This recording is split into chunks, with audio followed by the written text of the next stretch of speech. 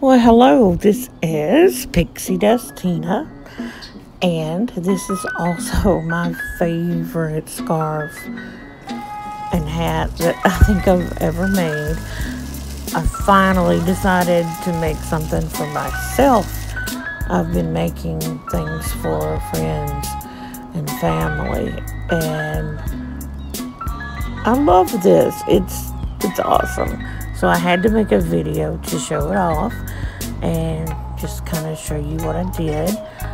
I like to put a bat on everything I make. It's my little trademark pin. And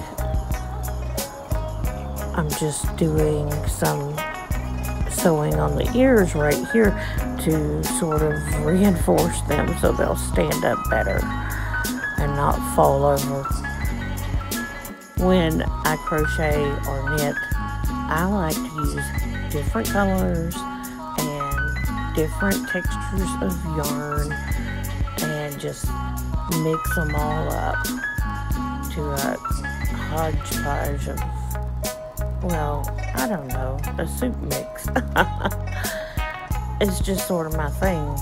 It's not for everybody, you know.